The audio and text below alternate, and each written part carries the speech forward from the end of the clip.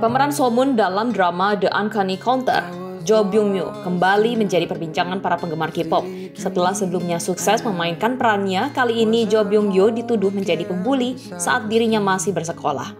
Hal ini bermula dari unggahan seorang warganet yang mengklaim dirinya menjadi seorang korban bullying sang aktor.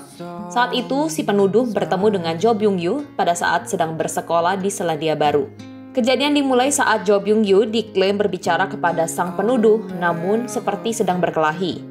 Akhirnya si penuduh pun meninggalkannya tanpa mengucapkan apa pun. Kejadian ini akhirnya menimbulkan permasalahan di keesokan harinya, di mana ada sekitar 30 orang yang menghadang si penuduh dan mengejeknya. Dari penjelasan si penuduh, Jo Byung Yoo mengaku kepada pihak sekolah bahwa dirinya tidak menggunakan kekerasan, melainkan hanya menggunakan kata-kata kasar. Dari sinilah akhirnya penuduh ingin Jo Byung Yoo mengaku bahwa dirinya adalah tukang bully dan meminta maaf. Ini merupakan kedua kalinya Jo Byung Yoo dituduh menjadi pelaku bullying.